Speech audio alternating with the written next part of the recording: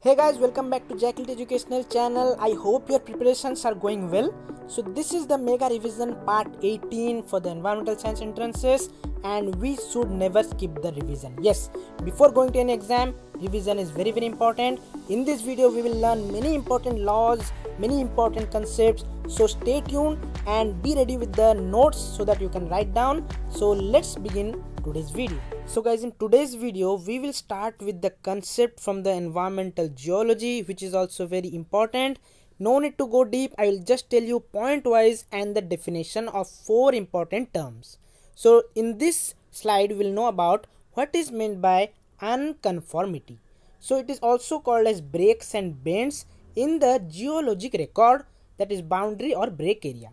So as you can see here in this picture here the clay is present here gravel is beneath that and here also there is different type of rocks as per the different layers or strata so ये क्यों होता है this is because of the erosion or deposition through the change in time or ages for example the clay deposit is having the formation for the last 100 years but this layer and the gravel layer was formed before thousands or millions of years before so as a result there is the difference or the breaks and bends in the strata of this particular geological record or geological area. So this is known as the unconformity. That is it is not continuous it is not of similar type. So here as you can see this the unconformity marks the difference in the two different zones or the two different boundary area of the rock types or the strata so that is unconformity but there are four important types of unconformity questions are asked from there we will know very simple one by one so here comes the slide where you need to note down all these four important types of unconformities आपको ये लिखना है first is non-conformity second is disconformity third is angular unconformity fourth is paraconformity So everywhere you will see this is the line which is dividing two different geological ages of rocks so we will know first non-conformity so non-conformity को आपको लिखना है this is the situation or condition where the sedimentary rocks are above the non-sedimentary rocks yes sedimentary rocks here it is depicted as yellow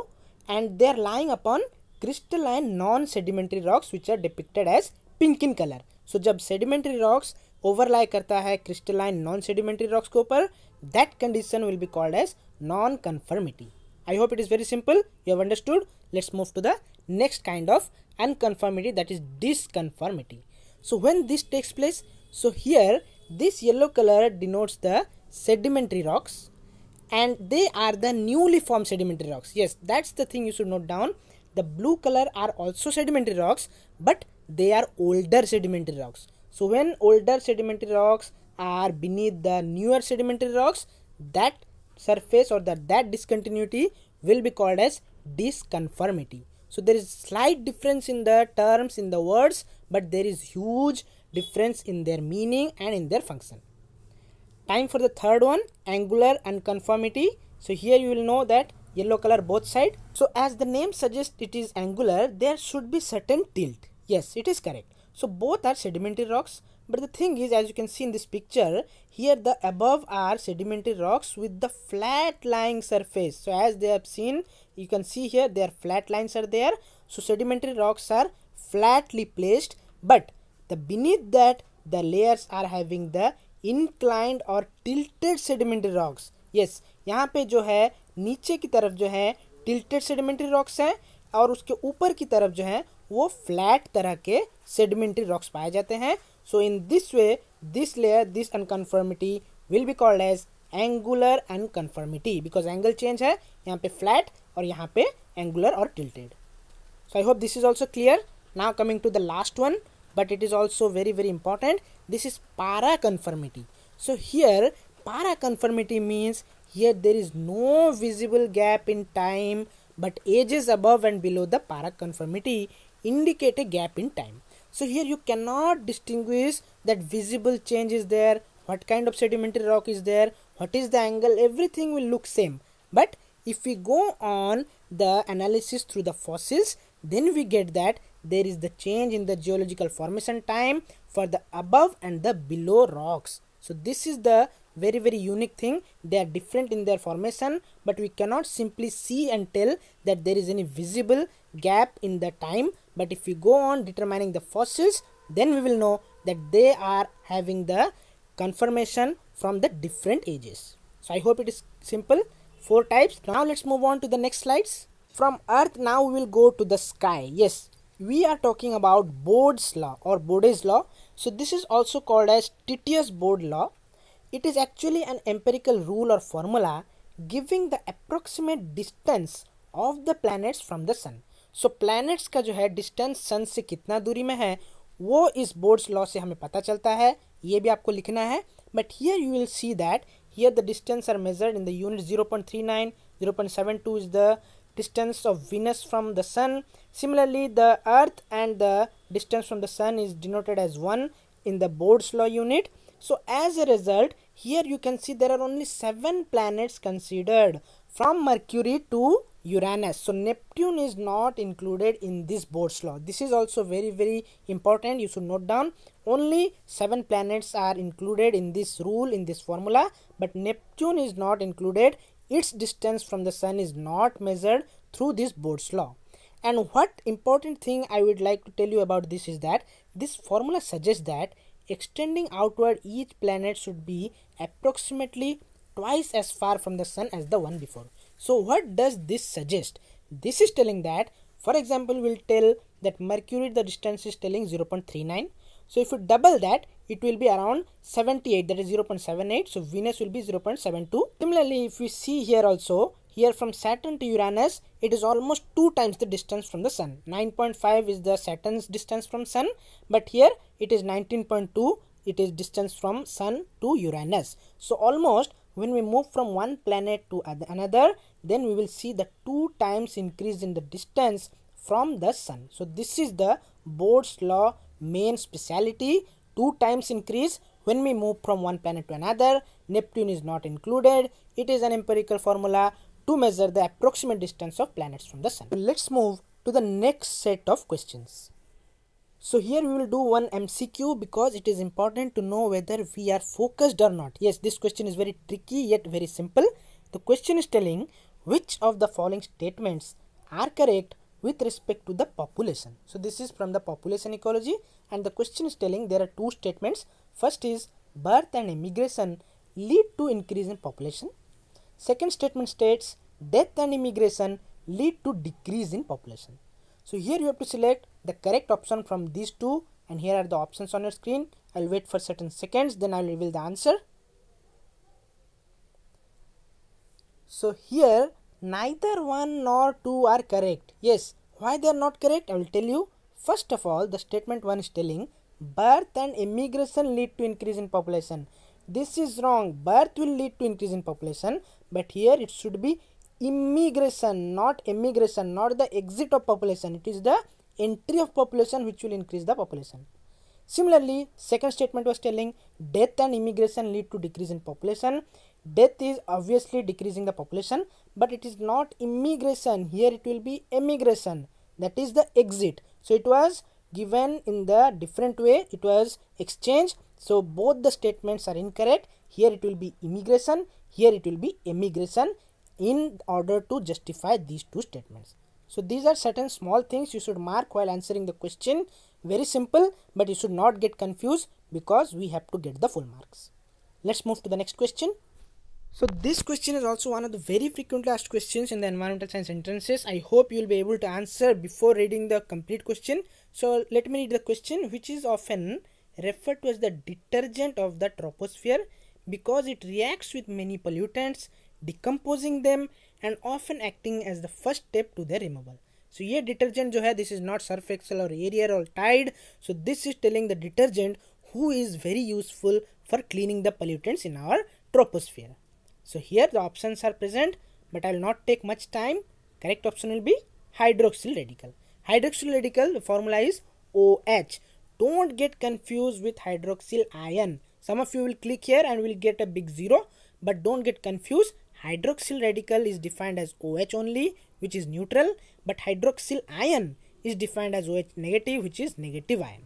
don't get confused and this is important because it decomposes them it reacts with the pollutants in the troposphere and they are removed from the troposphere and they are protecting our atmosphere so this concept is coming from the indian forest act of 1878 yes almost 200 years before this act is also asked in the examination so what happened is according to this act the forest in our country was divided into three categories तीन category में divide कर दिया गया था क्या क्या थे दे where reserve forest protected forest and village forest so question are ask that which one is the best forest in the Indian Forest Act 1878 and the correct will be reserve forest. Why they are called best forest? We will know because our main aim is to protect the forest, their flora and fauna. So here as per the rule, villagers could not take anything from these forest that means, जिस forest को reserve forest कहा जाएगा, वहाँ से villagers जो है, कुछ भी चीज़ नहीं ले सकते even for their own use they can't take anything from this category forest next is but what do they will do so for house building और फ्यूएल और they could take the wood from the protected और village forest so protected forest और village forest में ये दिया गया था permission वहाँ से आप fuel for house building you can take so this is the two things you should remember reserve forest best forest and they can take the fuel from village और protected forest and the third point which you should write down is that what was the basic aim of this act this aim basic aim was to remove the local rights in the reserve forest and keep them exclusively as government reserve so that's why the name was given reserve forest. Let's move on to the next set of concepts. So this is also the continuation to the forest. So here we will know how the forest cover are classified because this question was also asked in the UGC NET examination several times. So there are five categories of the forest cover assessment. So they are very dense, moderately dense forest, open forest, scrub forest and non-forest. So please note down I'm telling you what are very dense forests. So all the lands with the tree canopy density of 70% and above will be known as very dense forest. याद रखिए 70% से ऊपर गया तो very dense forest the canopy density. Next is moderately dense forest. So all lands with the tree canopy density of 40% and more but less than 70%. That means in the 40 to 70% range, if the tree canopy is present, then those area will be called as moderately dense forest. Similarly, what are open forest? Open forests are all the lands with the tree canopy density of 10% and more but less than 40%. So this is in between 10 to 40% the tree canopy. It will be called as what? It will be called as open forest. Now fourth one is the scrub forest they are the forests which are degraded forest lands with the canopy density less than 10%. So 10% say agar less hai canopy density then it will be called a scrub forest. And all other which are coming not coming under this four category yes which are not coming under this four category will be included in the non forest category. So this is important. Five types very dense moderately dense open scrub and non forest so let's move to the next slide. So guys next again back to the sky. Again important laws that is kepler's law of planetary motion. Yes he gave the laws for the motion of the planet and the sun. So what he gave? He gave actually three laws which are important. Just point wise i'm telling note it down. First law according to the kepler's law is the orbits of the planets are elliptical with the sun at the one focus of the ellipse. So what is it is telling that the orbit. We know all the planets are moving in orbit. Here let us assume there is the sun and it is elliptical the path of the planet. So this is our earth. So it is telling that the orbits of the planets are elliptical in shape not circular with the sun at the one of the focus of this ellipse. So it is simple. I hope you have understood but i'll not remove this image. So let me tell you the according to the speed what this law says.